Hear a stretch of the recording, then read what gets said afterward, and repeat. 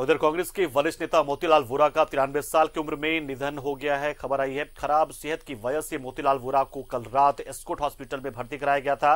कल ही उनका जन्मदिन भी था। लंबे समय तक कांग्रेस कोषाध्यक्ष रहे मोतीलाल वोरा। मध्य प्रदेश के मुख्यमंत्री और उत्तर प्रदेश के राज्यपाल भी रह चुके हैं।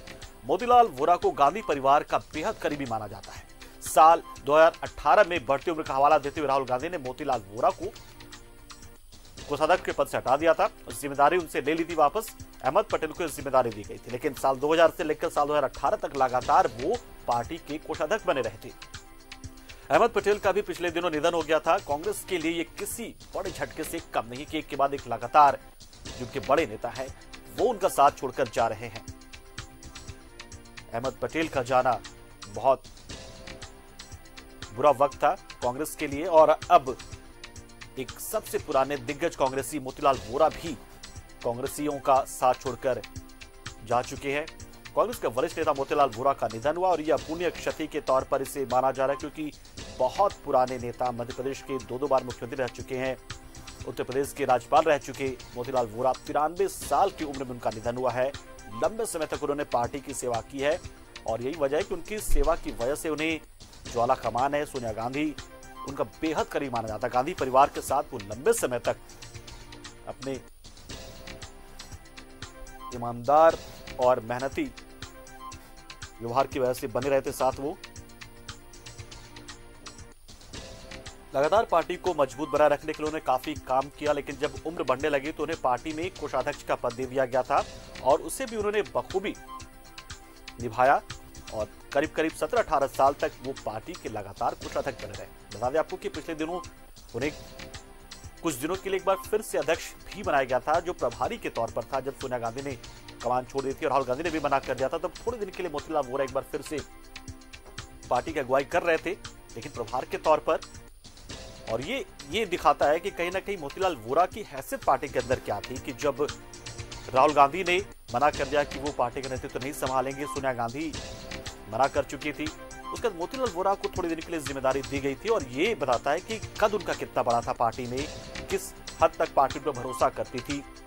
लेकिन तिरानवे साल की उम्र में ये दिग्गज दुनिया छोड़कर जा चुका है। लंबे वक्त तक पार्टी की सेवा करने के बाद अब ये भगवान के पास जा चुका है। ये शख्स मोतीलाल वोरा, इनका निधन हुआ है और इसके निधन के बाद, इनके निधन के बाद से पूरी पार्टी में गम का माहौल है, क्योंकि सारे कार्यकर्ता, नेता कहीं ना कहीं मोतीलाल वोरा के साथ खुद को जुड़ा हुआ महसूस करते रहे हैं। कहा यह भी जाता है कि जब आप कांग्रेस पार्टी के दफ्तर में जाते हैं तो हो सकता है कि कोई जानकारी, कोई पार्टी नेता शायद अगर ना मिले, लेकिन मोतीलाल वोरा हमेशा। और इस स्वास्थ्य मंत्री बन्ना गुप्ता, हमारे साथ जुड़ चुके हैं। बन्ना गुप्ता जी एक बहुत बड़ी क्षति कांग्रेस के लिए तिरानवे साल का सफ़र इन्होंने तय किया और बहुत लंबे समय तक पार्टी की सेवा की। किस तरीके से श्रद्धांजलि देना चाहेंगे आप मोतीलाल वोरा जी के निधन पर?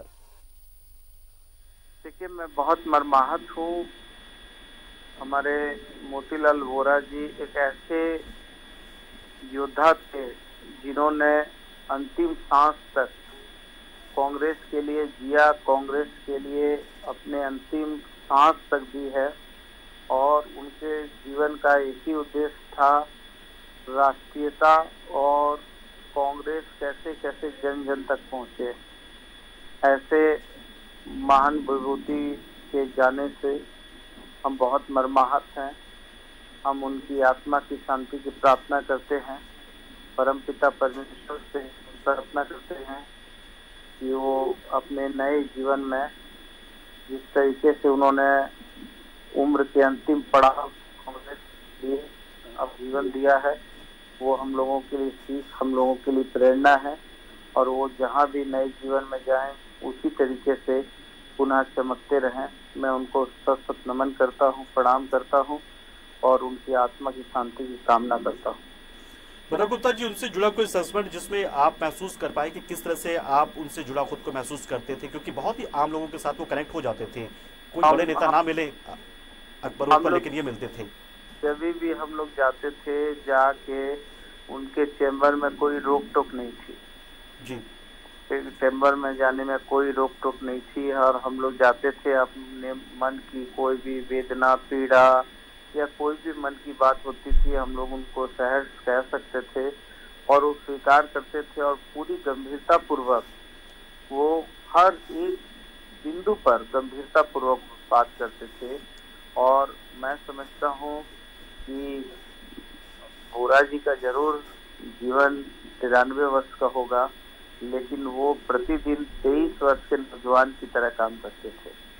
ऐसा ऐसा व्यक्तित्व, ऐसा जीवन जीने की सलीका इतना जोश, खरोश और ना थकने वाला इंसान वो रहे, जिनके जीवन में थकान नाम की चीज़ नहीं थी।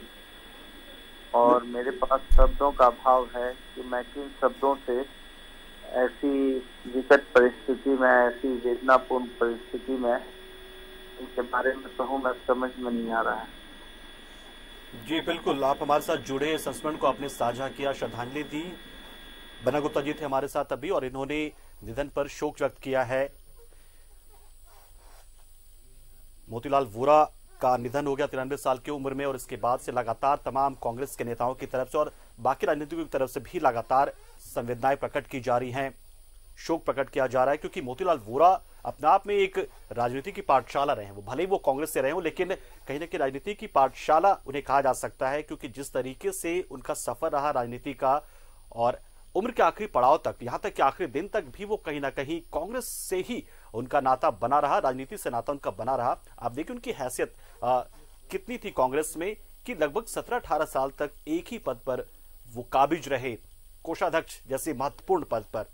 न कभी उंगली उठी, न एक रुपए की कभी उन पर किसी तरह के आरोप लगे और लगातार पार्टी ने उन पर भरोसा किया और यही वजह है कि कोषाध्यक्ष जैसे महत्वपूर्ण पद पर वो लगातार बने रहे। हालाँकि ये बढ़ती उम्र की वजह से था। अगर उम्र साथ दे रहा होता, स्वास्थ्य साथ दे रहा होता तो उन्हें बहुत सारी जिम्मेदारियाँ दी जा सकती थी, क्योंकि उन्हें बहुत सारी महत्वपूर्ण ज़िम्मेदारी निभाई भी, चाहे वो मध्य प्रदेश के मुख्यमंत्री बने रहने का हो या उत्तर प्रदेश का राज्यपाल बनने का हो, बहुत बड़ा सफ़र उन्होंने तय किया राजनीतिक जगत में। और फ़िलहाल रुकते हैं यहाँ पे छोटे से ब्रेक के लिए, जल्द हाजिर होंगे कुछ और अहम खबरों के साथ।